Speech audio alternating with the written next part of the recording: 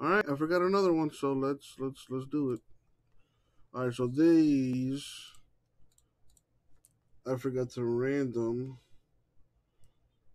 Uh, this is for Heritage Three, so I'm just gonna put the list up there, put the whole thing up. Now these have to go to one team. All right, I'm gonna do each individually since I only have three. So for the ones that I have two teams, I'm gonna roll a die. If I get an odd number, it'll go to the left side team, even number right side team. So odd left, even right, odd left, even right.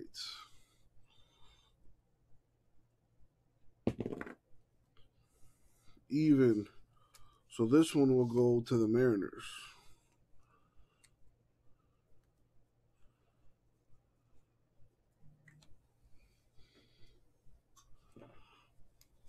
Do this one next.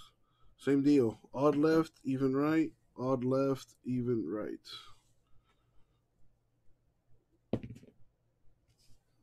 Number three is odd, so this will be angels.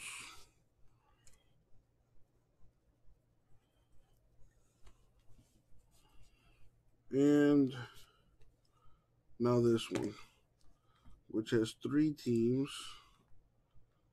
So it'll be a little tricky. But they are numbered one, two, and three. As you can see. Oh, these don't have the numbers. Oh, that's weird. Because the others do. See, like this one. One, and three. These don't have the numbers. Huh, interesting. Either way, this is one, that's two, and that's three. So let's roll the die. I'm gonna go 12 times. It'll go to the top number. Good luck.